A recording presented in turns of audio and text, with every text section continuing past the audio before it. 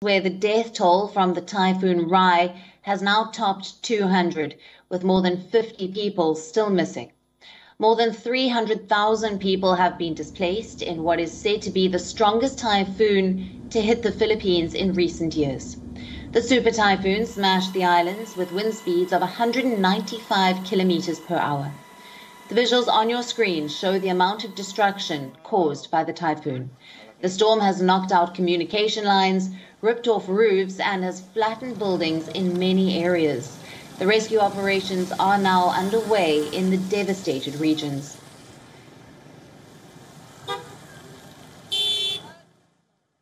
kahit konting tulong man lang na ano, maparating man lang sa amin dito, yung taga-gobyerno ngayon namin kailangan talaga, yung tunay na gobyerno.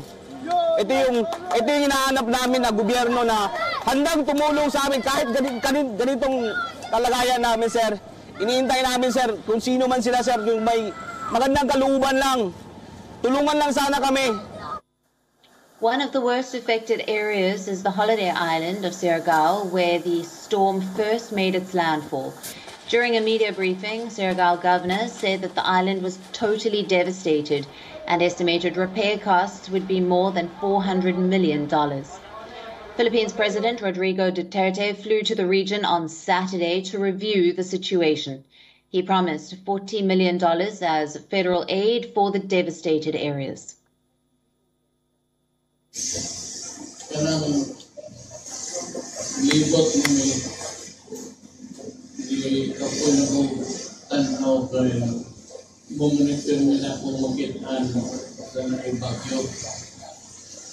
na na ang perdisyon sa tao palukoy ko tao Typhoon Rai has sparked comparisons with Super Typhoon Haiyan that ravaged the Philippines in the year 2013. Haiyan was the deadliest cyclone on record in the country, leaving more than 6,000 people dead.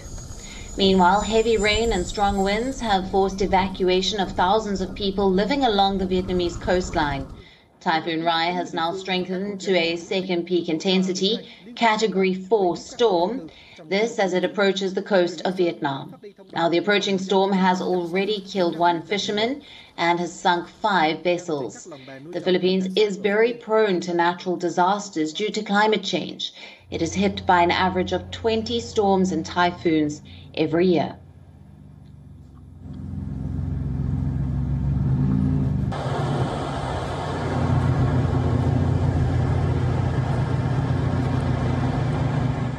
We are now available in your country. Download the app now. Get all the news on the move.